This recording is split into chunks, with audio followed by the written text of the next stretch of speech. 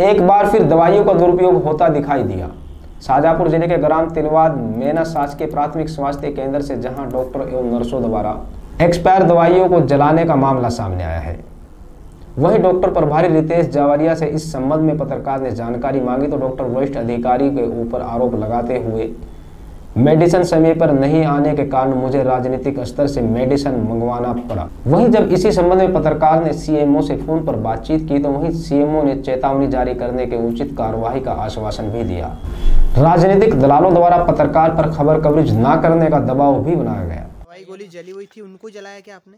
हाँ उनको जलाया मैंने उसमें उसके पहले से जली हुई रखी थी क्या? भी थे हाँ, उसके पहले से जली हुई रखी थी क्या पहले से जली हुई थी ना भाई। तो आपको कुछ जानकारी है कि किसने जलाई थी इसके ये पहले? मुझे पता नहीं किसने जलाई। अच्छा पर हॉस्पिटल साप्ताहिक दवाई गोली जलाते रहते हैं। नहीं, मेरे सामने तो नहीं जलाई किसी ने पर मैंने तो वहाँ देखी तो कचरा वचरा था उसमें अधूरे बैग वगैरह भी थे जले हुए और वो, आ, मतलब दवाई गोली के पैकेट होन थे अधूरे कितने दिन में जलाते दवाई गोली? ये मुझे पता नहीं कितने दिन में अच्छा पर आपने पर जली हुई दवाई जलाई। क्या नाम है हॉस्पिटल का? हाँ, हॉस्पिटल का नाम है प्राथमिक स्वास्थ्य केंद्र तिलावत। तिलावत आपका नाम? अशोक कुमार घारू सफ़ाई कर्मी। तहसील काला पीपल जिला है। क्या आपका नाम क्या है? अशोक कुमार घारू। अशोक कुमार जी जो दवाई जलाई गई वो आपने जलाई क्या? डॉक्टर साहब बता रहे हैं कि हमारे कचरे में पड़ी थी टूटी फूटी एक दो और फटे पैकेट वगैरह थे। सिस्टर का अपना परिचय दे दीजिए पहले। परिचय मेरा अशोक कुमार घारू सफ़ाई कर्मी। यहाँ पे सफ़ाई करते हैं कौन से हॉस्पिटल में? प्राथमिक स्वास्थ्य केंद्र तिलावत। अच्छा। तो आपके सीनियर ने किसी ने आपको जानकारी दी थी कि ये सफ़ाई कर दीजिए आप और जला दीजिए ऐसा कुछ? नहीं वो कचरा पड़ा रहता था तो तुम बगैर किए जलाना पड़ता अधिकारी के जब थोड़ी जलाऊँगा। तो दवाई गोली भी थी उसमें? हाँ, तो वो मैंने नीचे नहीं देखा आपने जलाई थी और एक मेम का नाम और बता रहे और किसने जलाई? वो तो शायद वो वो राधा भाभी से मैंने पूछा वो उनसे। हाँ। तो उनने बोला कि बोले उनने पटकी सिस्टर ने मैंने आपने पटकी थी क्या वो बाद में जल गई उसके बाद दिखी नीचे वो कचरे में थी। हाँ। अच्छा दिखी नहीं तो आपके अनुमान से कितनी दवाइयाँ होगी? वो तो थोड़ी सी थी इतनी इतनी सी। नहीं तो जो हमने वीडियो फुटेज लिया है उसमें ज़्यादा थी। तो कितनी होगी फिर हो गए पाँच दस पत्ते दो चार छः पत्ते। वो तो एक दो आयरन की शीशी और शीशी थी फूटी आप कर्मचारी को कब से कार्य कर रहे हैं आप?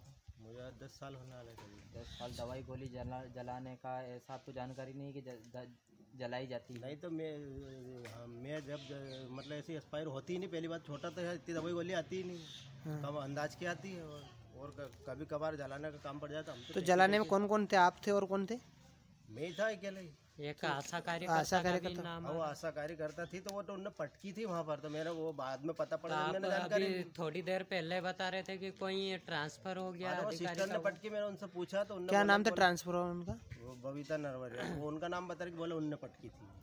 कौन बता रहे उनका नाम? वो आशा कार्यकर्ता रख दीजिए। ये जो दवाई गोली सर आपके हॉस्पिटल में जलाई गई क्या? ये हमारे उप स्वास्थ्य केंद्र की एक्सपायर दवाइयाँ थी। हाँ आप हाँ। चल रहा चल रहा। आपका परिचय बता दीजिए। मैं डॉक्टर रितेश तिलावत मीना से हूँ। हाँ। मेडिकल ऑफिसर की पोस्ट पीएससी। ठीक है। और क्या कहते हैं जो उप स्वास्थ्य केंद्र हाँ। है हमारे पास में वहाँ से जो आशा कार्यकर्ता हैं और जो एक सेकंड। दवाइयाँ आपके थ्रू जलाई गई थी? नहीं अ, मुझे उसकी कोई जानकारी नहीं थी। मैंने अ, अपने वर्करों से पूछा बाद में अच्छा। जो अशोक हैं और हाँ। क्या कहते हैं उप स्वास्थ्य केंद्र में एक राधा बाई करके है आशा कार्यकर्ता।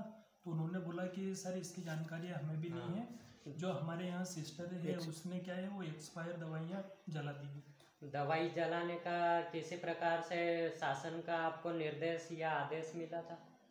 नहीं मुझे मैं बोल तो रहा हूँ कि मुझे खुद को इसके बारे में जानकारी नहीं तो सर जिसने जलाई उसको बुला देंगे आप? हाँ भी बुला हाँ हैं। आपने और सर जो पेपर में छपा हुआ है आप जो बता रहे हैं उनको भी बुला देंगे किन पत्रकार भाई ने छापा है वो? हाँ वो तो शायद ये राजेश आपने- छापा ना किसने छापा? जी सर तो उनको बुला देंगे जब दवाई जलाने का आपके मतलब संज्ञान में आया था हम्म। तो आपने कुछ एक्शन लिया इस हाँ एक्शन लिया ना। पहले तो मैंने अपने वर्कर जो अशोक हैं उनसे पूछा कि भैया क्या है ये?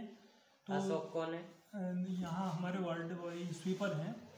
तो उन्होंने बताया कि क्या कहते हैं ये जो दवाइयाँ हैं ये वो उप स्वास्थ्य केंद्र की है सर। और वो क्या कहते हैं आशा भाई राधा भाई नहीं नहीं एक्शन क्या लिया आपने? मैंने आप प्रभारी हो या आप प्रभारी हो एक्शन क्या लिया उन पर जो नहीं तो पूछा ना उनसे। पूछने से एक्शन नहीं होता। नहीं तो न उसका कोई वो नहीं रहता है क्या रहता है एक्सपायर दवाइयों को या तो न ज़मीन में किसी प्रकार का आदेश मिला था आपको? डाल दिया जाता है या अ, आदेश मिला था आपको? नहीं तो जब हमारे से कुछ पूछेंगे तो कैमरे में कैद हो रहे हो। आदेश मिला था आपको? नहीं मिला आदेश। बगैर आदेश के ही जलाई गई मुझे तो बगैर बताए ये काम किया गया ना। बगैर बताए? तो जिनने बगैर बताए आपको क्या उनको बुला देंगे आप सर? हाँ बुलाएँगे। और जो पत्रकार जिनने छापा था उसी के आधार पर आए हुए हैं हम जो हाँ। पेपर में जो प्रिंट निकला था उसी के आधार पर हम आए उनको ही बुला देंगे आप। हाँ। और हमें सूत्रों के अनुसार पता चला है कि आप अधिकांश समय हरनिया में बैठते हो। हाँ मैं हर गुरुवार के दिन वहाँ एनसीटी की एंट्री करने जाता हूँ। सर तो पदस्थ सर अरनिया में हो? कि यहाँ पर हो आप? मेन प्रॉपर पदस्थ यहाँ पर अरनिया में हो कि तिलावत में? नहीं तिलावत में पदस्थ हूँ तो फिर वहाँ का काम आपको शासन ने संभालने को शासन ने नहीं जब मेरे लिए आदेश निकाले जाते हैं ना तो मैं अपने मतलब आदेश का पालन करने के लिए कहीं से भी एंट्री करूँगा अपने तो आप नेटवर्क की? आप शाजापुर कर सकते हो क्या इस काम को? नहीं इतनी दूर नहीं जा सकता मैं सुंदर सी कर सकते हो। नहीं जा सकता। सुजानपुर कर सकते हो। नहीं जा सकता। तो फिर अन्य क्यों गए? नजदीकी जो पास सेंटर है। नहीं तो शासन ने बोला आपसे। शासन ने नहीं शासन का पत्र है ना मेरे पास अच्छा। आप कहीं भी जा सकते हैं। हाँ जब आप अपना वर्क अच्छा कितने टाइम हफ़्ते में कितने टाइम आप वहाँ सिर्फ़ एक डे जाता हूँ हर गुरुवार नहीं ग्रामीणों का कहना है ग्रामीणों की जब हमने बाइट ली तो ग्रामीणों का अधिकांश सर अरनिया कला जाते हैं उसी के आधार पर हम पूछ रहे हैं आपसे। बाद में दिखा दीजिए। जैसे जो ग्रामीणों ने बोला कि अधिकांश सर डेली मतलब कि मन चाहे जब बंद कर देते हो और अरनिया में बैठते हैं उसी के संबंध में हम आपसे पूछना चाहते हैं। नौ से चार यहाँ रहता हूँ मैं पूरे टाइम सिर्फ़ हर गुरुवार के दिन जाता हूँ। सर आपका कहने का मतलब ये है कि आपको किसी प्रकार का आदेश भी नहीं था दवाई जलाने का इसके अलावा आप नहीं मेरी सुनिए दवाइयाँ को कुछ भी नहीं मैं क्या है उस दिन शायद गुरुवार ही था जिस दिन ये न्यूज़ आई थी तो मैं तो वहाँ था। फिर बाद में यहाँ के स्वीपर ने बताया कि सर वो यहाँ दवाइयाँ थी तो वो क्या कहते हैं राजेश गोस्वामी उसके फ़ोटो ले रहे हैं और ये कर रहे हैं। फिर मैंने वापस ये राजेश गोस्वामी? ये जिन्होंने न्यूज़ छापी थी इसमें। ठीक है सर उनको बुला दीजिए और जिनने जलाई उनको बुला दीजिए। हाँ एक बार मैं पूछूँगा वही बताना है। क्या नाम है आपका? हरि नारायण कौन सा इलाज करवाने के लिए आया था आप यहाँ? मेरे को दस्त नहीं आता। अच्छा। गाढ़ा आता है। जी। तो आपका इलाज हुआ नहीं हुआ? हाँ हुआ ही गोली दीजिए इंसान उनसे कहीं भी नहीं हुआ मैं कहना अब भी रखी गोली अभी कुछ बता रहे थे आपको यहाँ पर उचित दवाई गोली नहीं मिलती है हमको जो टाइम टू टाइम चाहिए? हाँ तो मतलब है कि नहीं अब ये क्या मेरे को दस्त नहीं हो रहे हैं तीन चार रोज हो गए आठ दिन से मांग रहे मैं दस्त अच्छा दस्त की गोली? हाँ। पर अभी तक गोली नहीं मिली आपको। आज हम खड़े हैं तिलावत स्वास्थ्य केंद्र पर जिला शाजापुर तहसील काला पीपल यहाँ के स्वास्थ्य केंद्र में जब हम पहुँचे और एक खबर चली सत्ता एक्सप्रेस पेपर में उसके माध्यम से जब हम यहाँ पर पहुँचे, कुछ दवाई गोली मेडिसिन जलाया गया, उसके संबंध में जावरिया जी डॉक्टर जो है, उनसे हमने जानकारी ली कि सर ये दवाई गोली किसने जलाई?